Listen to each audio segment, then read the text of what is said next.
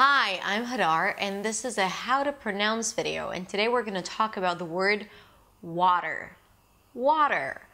A simple word, very useful. You need to know how to say water. Uh, but sometimes people probably don't understand you when you ask for water in a restaurant or a bar or so um, let's help you with that Let's talk about the word water. So the beginning sound is a W sound, right? Wa, you round your lips. And then, and this is the tricky part, you open your mouth wide into an ah as in father vowel. Wa, water, water. Okay, so it's not water, water, or water, okay, but wa.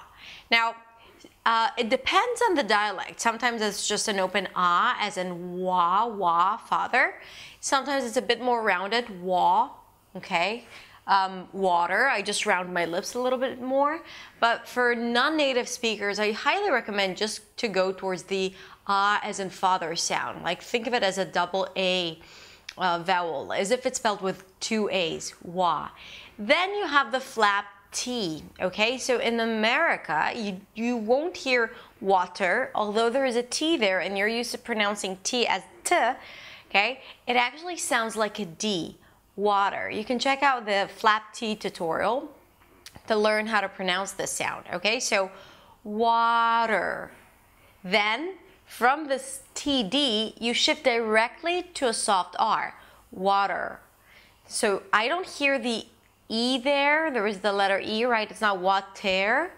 Water. Der. Der. Der. So ju just try that. Der. Wa. And then der. Der. Water. Primary stress on the wa. And then a small der. Water. Can I get some water? Can I get a bottle of water, please? Bottle of water, please. Or can I get a glass of water? Water, please. Water. See, now you won't have any problem to get water, so you won't have to get dehydrated anymore, which is good. So go get some drinks and water, and I'll see you in the next video. Bye.